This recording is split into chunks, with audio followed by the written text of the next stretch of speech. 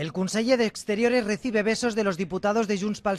Respiran aliviados. Puigdemont hacía menos de una hora que había descartado elecciones. Lluís Llach saluda efusivo al conseller de Territorio y al de Sanidad, con el que acaba fundido en un abrazo. Abrazos que ha repartido con más diputados. Sonrisas entre las filas independentistas y también entre los consejeros justo antes del pleno. Junqueras choca la mano con el jefe de Junts pel Sí y Puigdemont entra directo a su asiento. Iseta llama la atención del presidente. Ambos hablan durante 11 segundos y tras el líder del PSC llega Inés Arrimadas. La líder de Ciudadanos con un gesto expresa su incomprensión a Puigdemont. Los últimos en entrar, los diputados de la CUP, que esta vez sí sonríen. Arranca el pleno, primeras palabras dedicadas a los Jordis. com el Jordi Cuixart en Jordi Sánchez.